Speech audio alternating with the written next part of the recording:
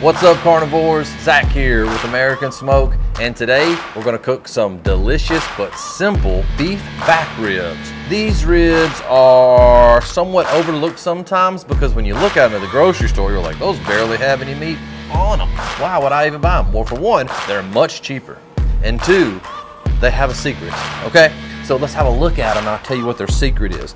You see these bones? The reason that you can see these bones, which are typically called shiners, is because butchers shave as much of this off as humanly possible because the meat that they're shaving off of these ribs is what we in the carnivoristic world call ribeye steak.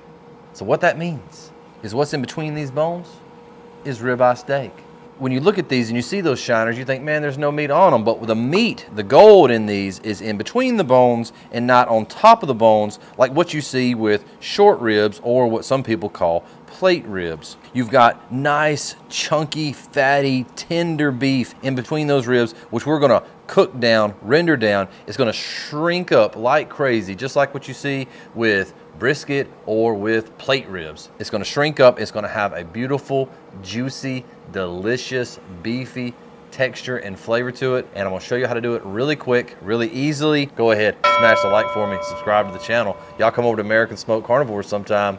It's a good group on Facebook. We'll see y'all in there. But let's get into how we're gonna prepare these ribs today. Step one, we're just gonna hit these up with a little bit of olive oil. I know some of y'all are thinking, oh, Zach, are you not gonna remove the membrane on the back? And the answer to your question is no, I am not gonna remove the membrane. You will see some people remove the membrane. You will see some people not remove the membrane. And the reason that I'm not removing the membrane, these ribs shrink up so much they don't look good and they don't hold together good on these bones because you've got the shiners on the front. If you take the membrane off, you've got nothing holding them together on the back. For presentation purposes, I am going to leave the membrane on. Taking the membrane off doesn't necessarily expose me to a whole lot more meat anyway. And the meat that's on the front is gonna get a nice coating of salt from the front, so I don't really have to worry about salt getting onto it. I am gonna season this membrane, which some people don't do. I find membrane that is slow cooked It's not gonna break down and dissolve, but it does have a nice little crunch to it sometimes. Y'all know about me, I'm a billy goat.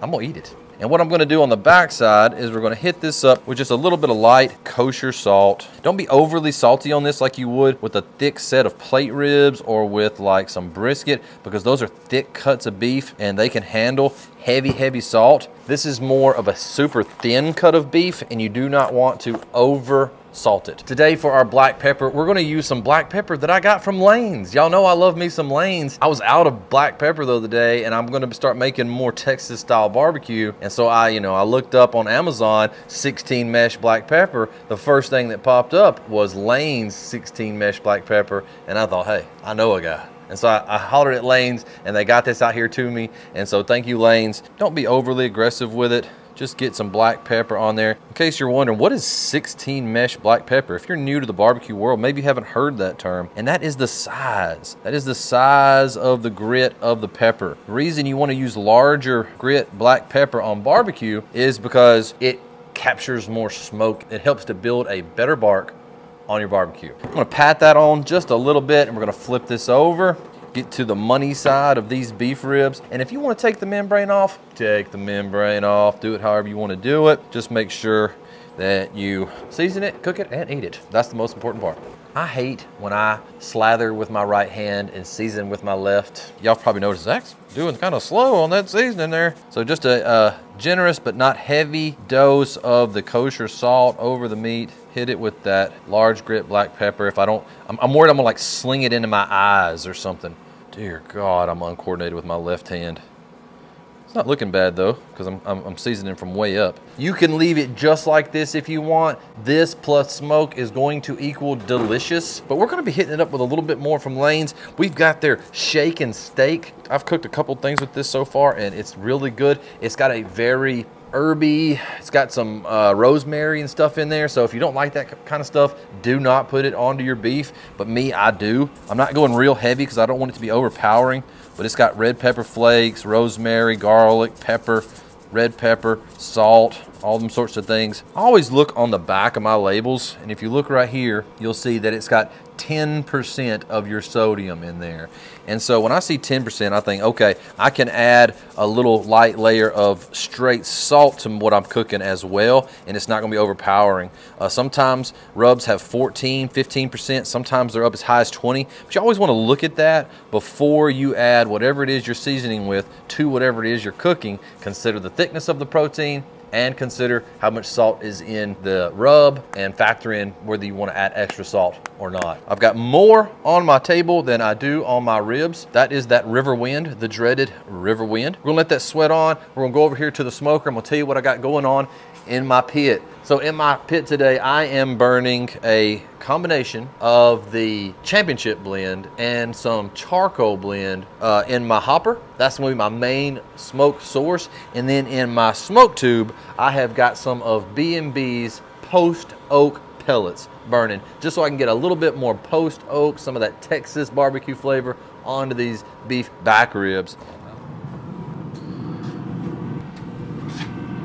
I may come in from time to time and spritz them with a little bit of apple juice, but that's gonna be about it. Just watch your ribs, and if you see them drying out a whole lot, give them a little spritz, and that's pretty much all you need to do with these. Woo, come have a look. Man, yeah. That daggone Lane's shaking, steak and shake. I don't know what it's gonna taste like on here because I've never done this. Man, it looks beautiful. And we are going to go ahead and wrap these up and let them rest. We are probing just over 200 degrees, give or take. But man, they are already tender like butter. I'm going to double stack these on this heavy duty foil and we're just going to wrap them up.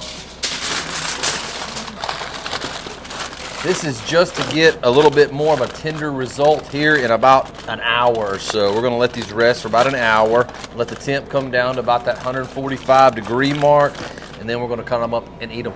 Okay, so it's been an hour since we took them out of the smoker. They've been resting, tenderizing slightly more, and getting just a little bit more perfect. So uh, they're done, and I'm going to tell you something. They're good. They're real good. If you want to do you some beef back ribs, I highly recommend this Lane's Shake and Steak. It is fire. I mean, fire. Look at this uh, thumbnail I did right here. Super tender and juicy. Just pull apart and the texture is exactly what I was hoping for. God my, it's so good. I didn't know exactly how that rosemary and stuff was gonna go on this beef, but dear Lord, it's on it, doggone it. we did cook these at 280 degrees throughout the cook. I think we kind of stayed below 280 most of the time, but they still cooked about an hour, hour and a half faster than I thought they were going to. What are you gonna do when the result is good? I'm still getting used to my new control panel. What are you gonna do? Sometimes you just gotta be happy when you get good barbecue at the end of the day. This is mighty fine. Let me show y'all how to cut these. This is what you're looking for. The way you get that is you have to sacrifice some bones. For pork ribs, you would cut here, right? So on this beef ribs, what you wanna do is you start here, kind of curve around the bone.